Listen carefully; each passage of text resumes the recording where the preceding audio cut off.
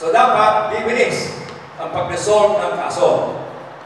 So that they will be in the best position to explain to you, brokers, appraisers, consultants, professionals in real estate on how to deal with the new department. And I promise you, these people are all tested. They've been there. I was there with them. And I promise you that we can create a wholesome coordination between the public and the private sector. So I might as well introduce the two ladies. The second speaker is a veteran of the Human Settlements Commission.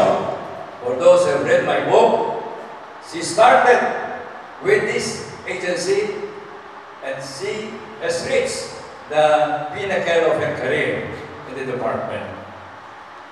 She started in the Makati, well of course she, she studied in the Lyceum of the Philippines. Alam ba nyo, hindi naman taga-UP lang ang magaling at saka Ateneo eh. Ang mga taga-Lyceum magaling din. Taga-PUP magaling din. She was the executive assistant of the first planning commissioner, Cesar Marquez. And she studied the evening at the School of Urban Regional Planning, where she took her master's in environmental planning.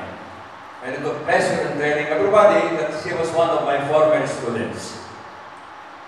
Now, uh, she worked with uh, HSC, HSRC, HLURB. Now, she has been uh, designated as the acting director of the Bureau of Environmental Land Use Urban Planning uh, in the department.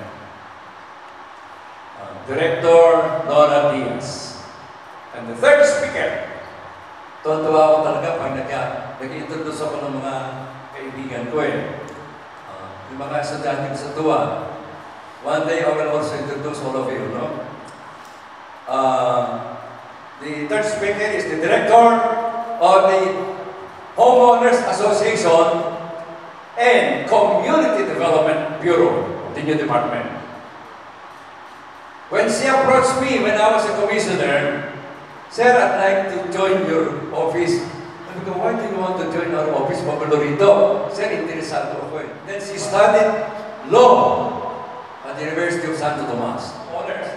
Yung paborito ng mga developer at saka ng mga homeowner. Palagi nang aaway. Si Attorney Lorena Rigon. So these are the three people whom I have requested to share their function and their vision to new department. So without much ado, I'd like to call